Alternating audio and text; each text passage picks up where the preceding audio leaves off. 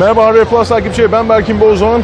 Yine Berlin İFA civarlarından sesleniyorum. Şu an Berlin'in dışında Lenovo'nun kendi özellik etkinlik alanındayız ve kamerada Ersin Akman beni çekiyor. Allah çektirmesin diyorum kendim için. Niye? Çünkü karşımda Moto Z2 Play var. Bir an kendimi Burhan pazarlama gibi hissettim. Artık bunu buradan birilerine satacağız. Çok ilginç bir şey arkadaşlar. Etrafta herhangi bir güvenlik hiçbir şey önlem yok biliyorsunuz. Telefonlar serbest elimizde. Herkesin elinde. Öyle yani gayet de güzel. cebinde ikisi üçer tane var zaten şu an. Tahminen var. Dolduran geliyor bence. Neyse. Moto Z2 Play, Moto Z ile Mo- Moto Z Play arasındaki farkları yine Mo- Z2 serisine taşımış bir telefon.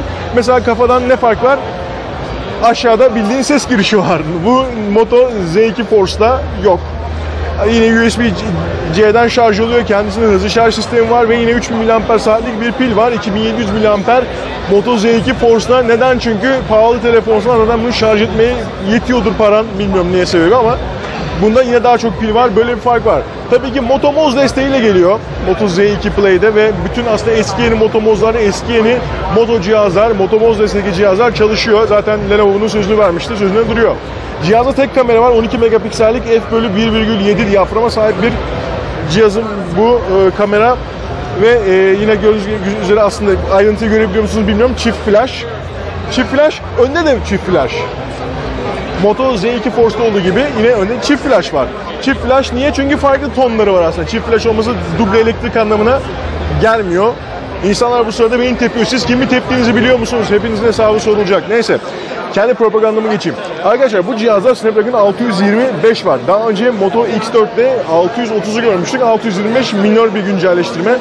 Ee, çok büyük performans farkları yok ama mesela yine bu kamerayla 4K Ultra HD video çekebiliyorsunuz. Sonuçta niye? Bu cihaz buna güç olarak yetiyor. Genel tasarıma baktığımız zaman aynı tasarım dilini kullandığını görüyoruz. Zaten saf Android olduğunu bu cihazların söyledik ama şöyle bir şey var. Bugün gördüğümüz cihazların hepsi Android 7.1.1 ile geliyor. Şöyle göstereyim.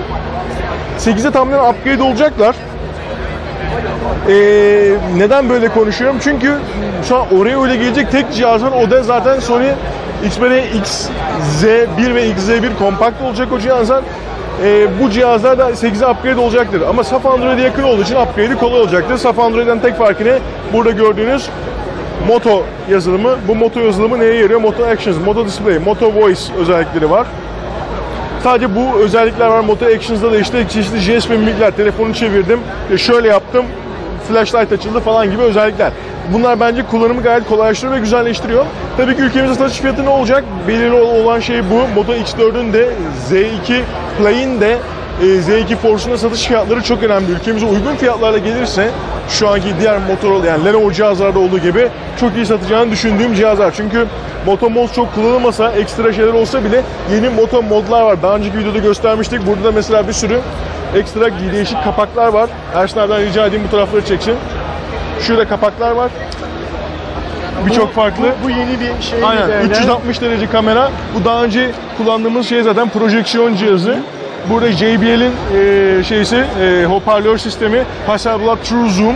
Bunlar da zaten yenilerde eskilerde uyumlu, çapraz bir uyumluluk söz konusu. Şu dolayısıyla- kullandığı yine oyun konsolu. o bu da yeni oyun konsolu. Oyun konsoluna çeviriyor. Yine Moto Mod aslında bu.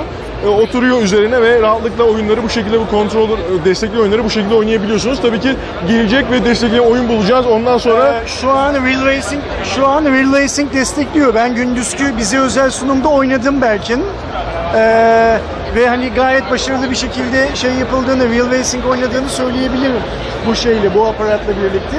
Ve Lenovo yetkililerinin söylediğine göre şu anda popüler oyunların büyük bir çoğunluğunu destekliyor bu yeni aparat. Ben aparat diyorum biliyorsun. aparat evet abi. Yeni aparat birçoğunu destekliyor ve yakın vadede de Android marketin en popüler oyunlarının tamamını destek alacaklarının sözünü almışlar oyun geliştiricilerinden. O zaman şimdiden Lenovo'yu tebrik ediyoruz. O zaman bu videonun kapanışını Bana sana, mı şey yapıyorsun? sana bırakıyorum abi. Okey şu mikrofonu şuradan şöyle alayım. Arkadaşlar Lenovo'nun lansmanındaydık Berkin'le birlikte. Sanırım çektiğimiz son video bu oldu. Hemen bugün kanala yüklüyor oluruz bunları da. Yarın fuar alanından yine başka videolar çekiyor olacağız. Oradan görüşürüz. Kendinize iyi bakın. Herkese iyi akşamlar.